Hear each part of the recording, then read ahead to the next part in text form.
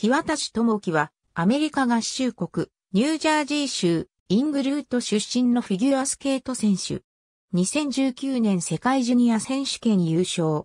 両親は日本人で、父の仕事の関係で、東海岸のニュージャージー州オラデルに在住中、イングルウッドの病院で生まれる。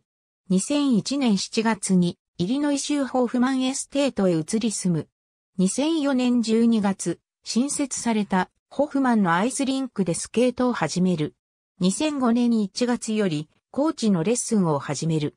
2012から2013シーズン、全米選手権、ノービスクラスで優勝。2013から14シーズン、初めて派遣された国際大会の JGP メキシコ杯の公式練習中に左足の内下骨折で危険。同シーズンは残り公式試合をすべて欠場する。2014から2015シーズン、全米選手権、ジュニアクラスで5位、チャレンジカップジュニアで優勝する。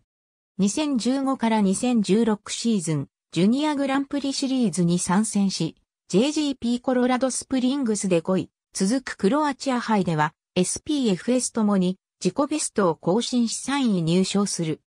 全米選手権、ジュニアクラスで優勝。世界ジュニア選手権は、ネイサンチェンの欠場による補欠からの出場ながら、銅メダルを獲得した。シーズン終了後、コーチをコリエードに変更した。2016から2017シーズン、ジュニアグランプリシリーズのサンジルベ大会に出場し6位。1大会のみの派遣に止まった。全米選手権ではシニアクラスに初出場し15位だった。2017から2018シーズン、ジュニアグランプリシリーズでは2大会ともに銅メダルを獲得。2年ぶりの出場となった世界ジュニア選手権では7位。シーズン終了後には、コーチをクリスティ・クラールとデーモン・アレンに変更した。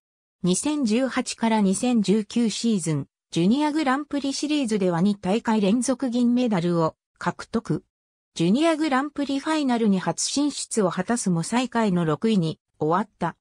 3度目の出場となった全米選手権では SPFS ともに4位で初表彰台となるピューターメダルを獲得。4大陸選手権の代表に選出され8位という成績を残した。